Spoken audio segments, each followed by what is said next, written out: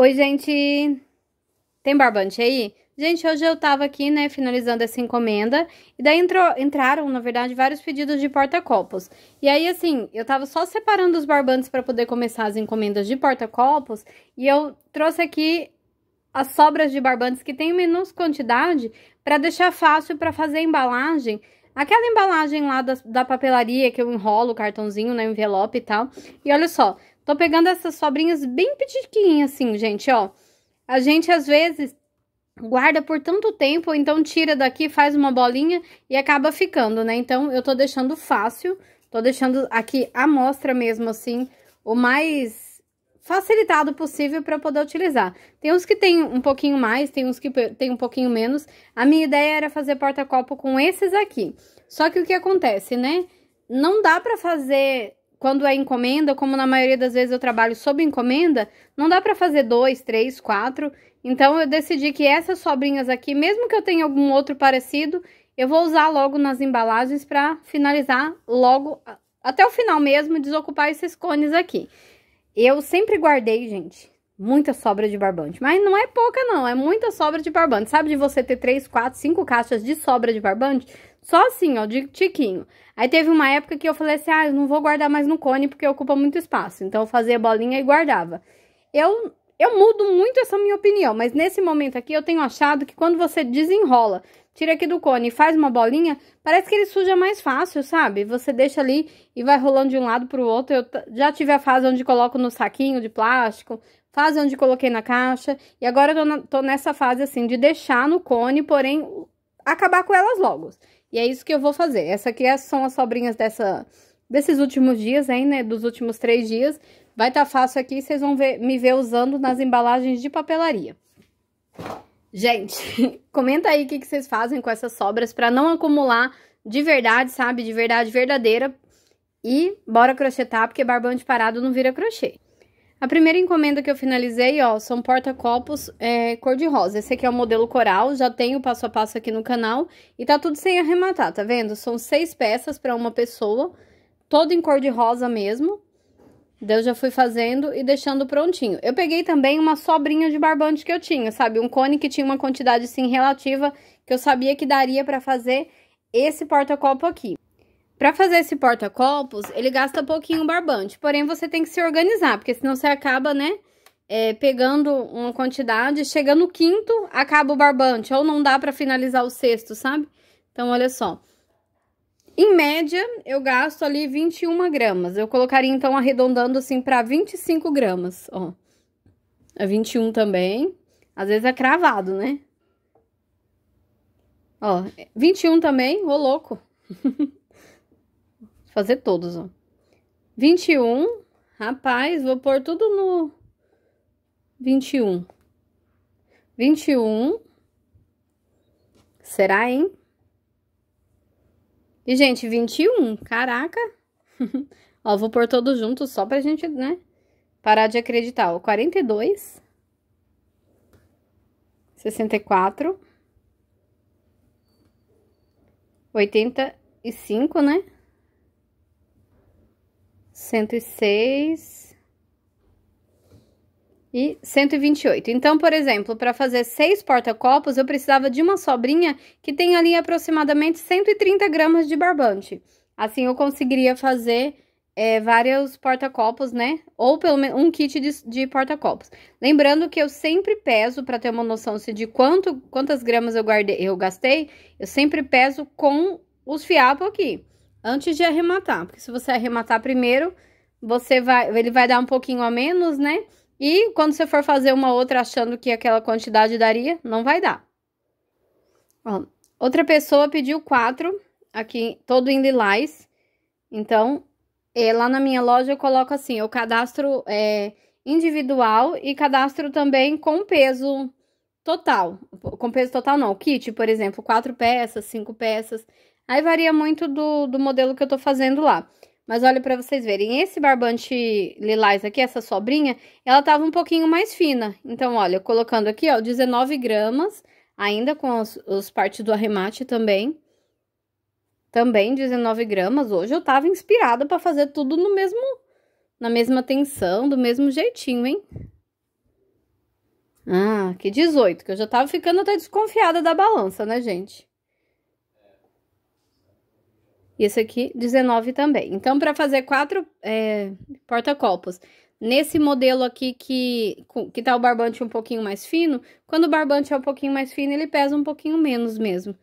Então, ó, eu gastei 74 gramas. Então, por exemplo, se eu tivesse um cone ali com aproximadamente 75, 76 gramas, eu já sei que dá para eu fazer quatro é, porta-copos. Gente, eu tava aqui no meio da produção, né? E aí chegaram, eu comprei algumas coisas pela internet, acabei de receber e veio um bilhetinho, quero mostrar para vocês que a gente não precisa fazer muita coisa, sabe? A gente pode fazer o melhor, que o melhor que a gente puder com aquilo que a gente tem. E esse bilhetinho que veio junto aqui é uma prova disso. Eu vou mostrar para vocês, é bem simplesinho, mas é só para para vocês entenderem que não precisa se desesperar porque você não consegue fazer coisas maravilhosas, bilhetes maravilhosos. Faz uma coisa simplesinha também. Ó, o bilhetinho que veio, veio assim, ó, bem simplesinho, em preto e branco mesmo, numa folha de sulfite, tá cortado assim, você vê que cortou mais ou menos, né? Às vezes a pessoa não é muito boa no corte, né? Cortar com tesoura é um pouco desafiador, mas, gente, cortar com a guilhotina também é, viu? Eu tô com as minhas unhas assim, ó, só pela hora da misericórdia, que hoje foi dia de lavar roupa na mão, né? Triste, mas é a vida. Olha só, aqui tá escrito assim, ó. Obrigada por nos escolher. Seu pedido foi embalado e enviado com todo o carinho que você merece. Esperamos que goste. Não se esqueça de registrar e nos avaliar no aplicativo. Assim, que é o nome da, da marca lá. Mas vocês viram que mensagem simples? Mas é uma mensagem simples que faz a pessoa ler e entender. Olha, por trás disso aqui tem uma pessoa que está preocupada de enviar um cartãozinho. É, uma vez uma pessoa comentou assim, ah, a gente compra de lojas caras, né? E eles não mandam nada, não mandam um cartão, não mandam um brinde, não mandam nada. Sim, mas eles já têm nome, gente. Eles já têm. É, você não entra numa loja cara e eles precisam te convencer a comprar. Eles já conquistaram esse status, vamos dizer assim. E, mas no começo você pode ter certeza que eles estavam que nem a gente, conquistando o cantinho deles e tentando fazer um diferencial. Toda loja, quando começa, ela tem que ter um diferencial. E na maioria das vezes, principalmente assim, produtos que nem o nosso que é feito à mão, o diferencial ele pode ser esse toque mesmo especial, essa ensinamento que a gente acaba dando para o cliente de que produtos feitos à mão, eles fazem parte e melhoram, transformam a vida de muita gente. Pessoas que estão em casa trabalhando, cuidando dos filhos, fazendo o seu melhor, né? E tá ali arrumando tempo para fazer uma coisa, às vezes, gente, nem tem, a pessoa nem tem uma outra opção, sabe? Ela precisa trabalhar e ela viu ali no artesanato, no crochê ou na papelaria, seja lá o que for, a única alternativa para que ela possa conciliar o trabalho com a criação dos filhos, o trabalho com o cuidado, às vezes ela tem uma mãe, um pai, um marido, um filho mesmo que é especial, que precisa de um, né, atendimento especial. A gente, quando tem filho, a gente tem medo de deixar com outras pessoas, tem medo de, né? E na maioria das vezes o medo, ele é superado até pelo fato da gente não poder pagar alguém para ficar. Eu lembro quando eu tinha os meus pequenos, eu até queria voltar para o mercado de trabalho, né, voltar a trabalhar, mas o valor que eu tinha que pagar para alguém para cuidar dos meus filhos não compensaria eu arrumar um emprego para ganhar um salário mínimo, sendo que eu ia pagar praticamente um salário mínimo para alguém cuidar deles. Então, eu sempre, né, tinha isso em mente que eu cuidaria dos meus filhos em casa, então eu fui fazendo tudo que dava. Uma das coisas que eu fiz foi vender catálogo da Avon, Natura. Eu vendi, depois entrei nesse meio do artesanato, eu vendia ponto cruz, aí crochê, tapete, biquinho de fralda, sabe? Biquinho de pano de prato. Gente, já fiz de tudo nessa área aí do artesanato, tentando de tudo mesmo, por quê? Porque é uma coisa que transforma a vida, né? E olha eu aqui, tantos anos depois, trabalhando única e exclusivamente com isso, sem a necessidade de ter nenhum tipo de complemento. O crochê ele não é um complemento de renda para mim, ele é o meu trabalho, ele é a minha renda. Muito legal, né? E agora bora continuar crochetando. Entraram é, pedidos de suplá desse aqui rosa com cinza e branco, e aí eu tinha só uma sobrinha de barbante, gente, rosa, que ia ficar terminando essas bases aqui, fiz esses suplás, fiz essas bases, ficou só um pouquinho no cone. Então, eu adiantei algumas basezinhas, ó. E esses aqui eu pretendo fazer o biquinho em cinza e mandar de brinde. Então, por exemplo, eu tenho quatro. Eu vou mandar apenas um como brinde para as clientes que comprarem esse em rosa, cinza e branco. assim eu não vou guardar um restinho de cone de barbante, que nem eu falei. Tô tentando essas, esses cones que eu pego para fazer, já fazer até o final mesmo, finalizar de verdade, sabe? Catou o cone, jogou fora, pôs faz ciclagem, fez o que cada um faz com o seu próprio cone, mas chegar no final do cone e não guardar um tiquinho que nem aqueles que eu tava mostrando no início do vídeo. Daí uma pequena pausa aqui no crochê, gente. É, vendi, né? Uma pessoa entrou em contato e pediu vários rótulos desse de embalar o suplá, ó. Então, eu já... Assim que entra o pedido, se for um pedido que não tem muito detalhe, nada que eu precise é, é, editar, alguma coisa assim, eu já pego e coloco para imprimir. E eu falo assim, assim que entrou o pedido, que é assim que o cliente paga. Depositou, o dinheiro entrou na minha conta, transferiu pelo Pix, né? Que fala a verdade, que esse Pix é uma maravilha, hein? O cliente está falando com a gente, ele faz a transferência antes dele avisar que o dinheiro que ele transferiu, a gente já recebe a notificação e o dinheiro já está na conta. Então, daí ela entrou em contato, né? Perguntou quanto que ficava para enviar para a região dela e pediu, ó, esses daqui do livro, um livro com uma canequinha ali em cima pediu o coraçãozinho preto, que fica bem destacado. Eu gosto de usar esse coração preto quando eu uso, quando o cliente pede coisas muito coloridas, aí você dá uma suavizada com o, um desenho preto, assim. Pediu também a canequinha, ó, de casalzinho, né? Muito amorzinho envolvido. Ela pediu o passarinho. Esse passarinho tá tão fofinho.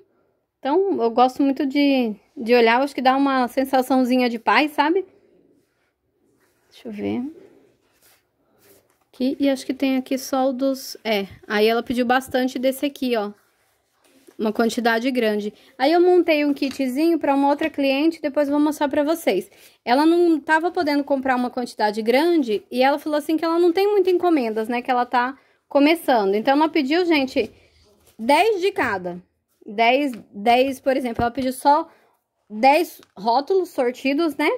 Ela pediu também 10 cartãozinho de agradecimento e 10 aquele, o cartãozinho de agradecimento é o gratidão, né? E 10 adesivinhos. Então ficou um kit com quatro coisas, depois eu vou mostrar para vocês que tá imprimindo lá. Um kit com quatro itens de papelaria diferente, mas ela vai ter só 40, 40 papéis. Então, serão para 10 pedidos e vai dar tudo certo, eu tenho certeza absoluta que esse comecinho ela vai iniciar e vai bombar. E logo, logo ela vai ter muito mais encomendas. Aí, só para concluir o que eu tava falando ali da papelaria, né? É um kitzinho com 10 peças, ou seja, aproximadamente ali 10 pedidos ela vai enviar para os clientes, a não ser que às vezes ela manda um cartãozinho para uma e guarda o outro para mandar para outra. Diferente, né? E aí, conforme for aumentando essa remessa, ela vai pegando gosto, vai ficando feliz com essa interação e vai também vendo o resultado que ela tem, né, com os pedidos. Às vezes você envia um cartãozinho de nada, que é o caso desse aqui que eu recebi, ó, e ele faz diferença. É uma coisa que você para um pouco na hora que você tá abrindo para ler, né? E às vezes o retorno é tão legal de clientes que falam assim: "Nossa, eu amei o cartãozinho". E aí ela vê que realmente faz a diferença e ela pede mais. Às vezes você compra 10 cartõezinhos e demora um ano para você usar todos, mas não tem problema. O importante é que quando você começou, você estava animada, tentou de tudo e faz parte.